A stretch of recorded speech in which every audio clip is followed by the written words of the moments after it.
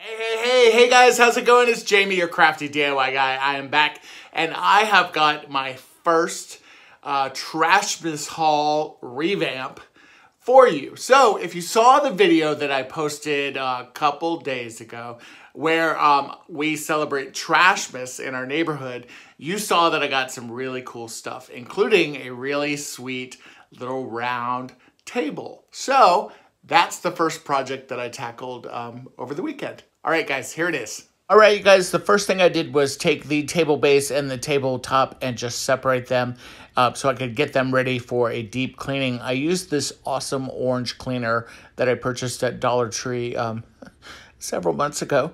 And I just uh, cleaned the top and the sides and really all areas of the table itself with this cleaner.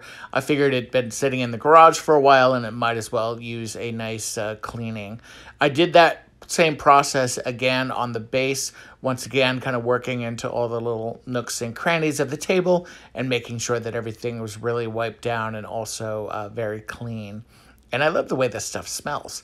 Then I took my Rust-Oleum chalk paint and did two coats of chalk paint on the table base as well as the table top. I did not film the table base, but I think you can see here what I did. And uh, chalk painting is very easy. Then I took some coffee that was freshly brewed and poured it on top of some sheet music that I printed from the internet. And I will link that uh, printable site below. They had a good selection of some free stuff as well as some pay stuff. So just depending on the song. Then I took the sheets and believe it or not, yes, I put them in the dryer.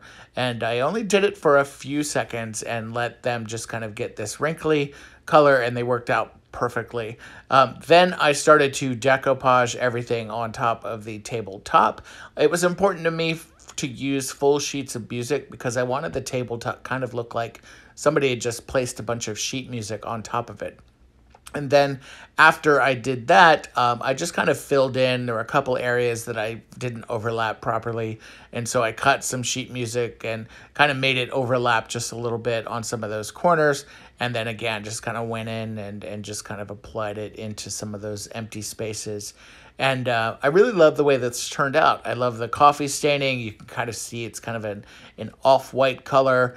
And uh, I'm really happy with the way that this is turning out, especially for my first decoupage project. It's, it's definitely not perfect, but it's pretty damn close. All right, so this is what it looks like uh, before it has dried. You can see definitely some little bubbles and stuff, but again, I don't hate it. And then for the table base itself, I wanted this to um, kind of blend a little bit better with that ivory color. So I was able to take, there's Otis, I was able to take some of my Waverly uh, wax and it was kind of an ecru wax or like an off-white wax and I just really just kind of spread that all over the base itself. And it actually turned out really well. I was super happy with it. And then I went ahead and just took what was residual and kind of left over on my rag and just wiped it over the top of this. That way everything had a nice kind of nice uh, kind of uh, ecru off-white color. And then I set it up in the bedroom to dry, and I really love the way this sweet little table looks in my guest bedroom. I thought, oh, look, there's my finger. I thought that this was the perfect setup in the guest bedroom, and uh, I really love the way this looks. And then uh, this is just so you can see what the table looks like without the lamp or without the flowers. Again, um, this was just a song that was super special to me, and I really, really like the way this looks. And I made sure to keep one of the pages of the first page of the song on the table itself so you could see that. All right, guys, my first kind of a garage haul flip. What'd you think? If you like this video, give me a thumbs up and definitely remember to subscribe to my channel. Thanks so much, everybody, and take care. Bye-bye.